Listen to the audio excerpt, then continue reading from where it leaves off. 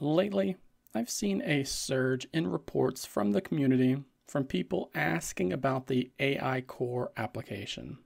They're wondering why the app is taking up so much storage and using up so much RAM when they personally have zero clue as to what it's even doing on their Android device. So today, I want to explain what the AI Core application is. I can cover the handful of features that it's responsible for.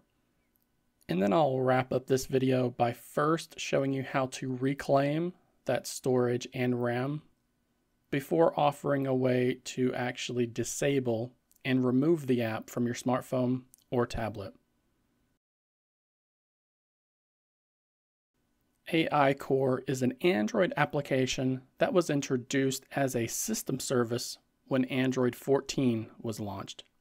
It has been specifically engineered to not only provide, but also manage on device AI models.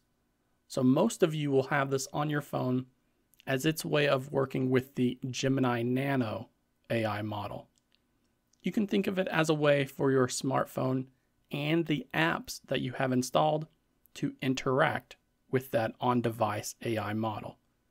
The AI Core application is really useful and it's actually been developed with privacy in mind.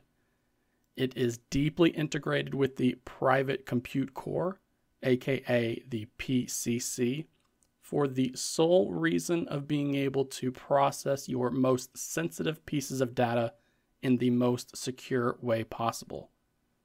The private compute core is a completely isolated partition that's sandboxed from the majority of the operating system.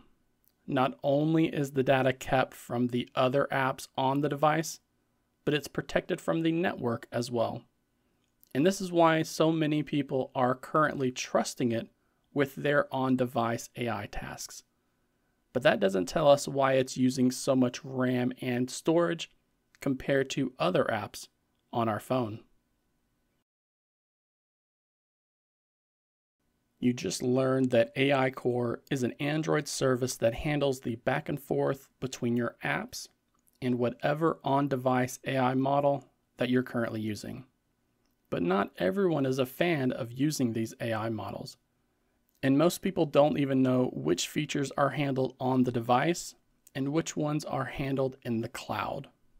So earlier today, I did some research, and while this is not a definitive list, it should give you an idea as to which features are interacting with the AI Core application on your device. For example, Gboard has a smart reply feature that will leverage this service to generate suggestions for conversations within end to end encrypted applications. Google Messages is another app that will tap into the AI Core application for its Magic Compose feature to work properly. The Pixel Recorder application uses it to generate summaries of your audio recordings. And TalkBack, Android's native screen recorder, can even use it to significantly improve image descriptions when it's installed. But these are just some of the features that you could miss out on if you end up disabling or uninstalling the AI Core application from your device. But you need to remember that this is Android's way of communicating with on device AI models. So there are going to be many third party apps out there that will need access to it if you want to use all of their features to work properly.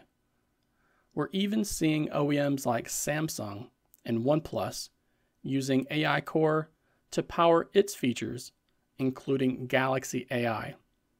So, any of those that boast privacy from handling your data on the device, they are all going to need AI Core on your phone in order to work right.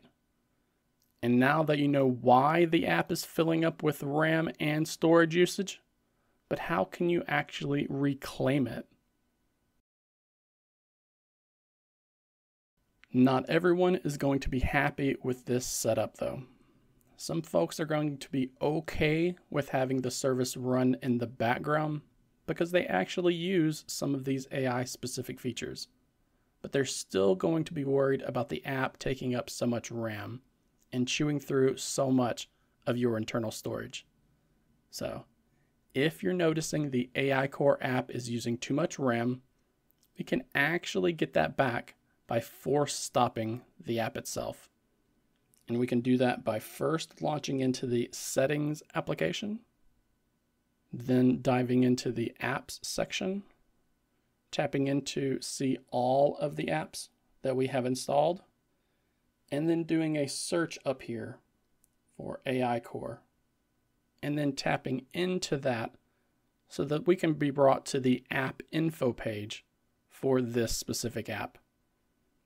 Now, right up here toward the top, you're going to see a button labeled Force Stop. Tapping on it will bring up a confirmation box, and then confirming that we do want to kill it will actually drop everything that it's currently holding in RAM. Now, what if you're noticing that it's taking up a bunch of internal storage space as well? I'm seeing multiple threads with storage usage racking up into four, five, even six gigabytes at times. So we can handle this by tapping into the storage section of the app info page and then clearing the cache before we clear the storage. Just like before, we confirm that's what we actually want to do, and then you'll see that the storage usage will drop. For anyone who is 100% sure that they do not want any on device AI features at all, then you can go ahead and disable AI Core right from here if you want. This will prevent the application and the service from running in the background. It will not use up a whole bunch of RAM, and it will not rack up a whole bunch of storage usage either, because it will be completely disabled anyone who has a grayed out disable button will need to resort to using ADB or the Shizuku Canta combination in order to remove the app from your device. I have a number of bloatware guides here on the channel, so I'll be sure to link to one of those down in the video description below. So if you're running into any issues disabling the app or trying to uninstall it with ADB or Canta, then be sure to use the comment section down below to let me know.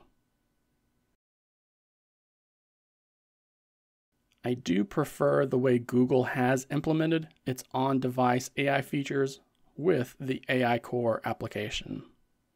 The way the private compute core handles all of the data is definitely how I prefer it to be done. But it's clear the app is capable of using too much RAM and too much internal storage while completing these tasks. So I do hope that Google is able to adjust some of these settings to prevent that from happening in the future. For now, it looks like we're going to have to manage this stuff ourselves, but at least Android provides us with the tools to get the job done. I hope this video was able to help you to understand what the AI Core app is, what it does, and why it's using so many of your resources. So please click on that like button so that more people are made aware of it. And don't forget to subscribe to the channel for more Android tips like this.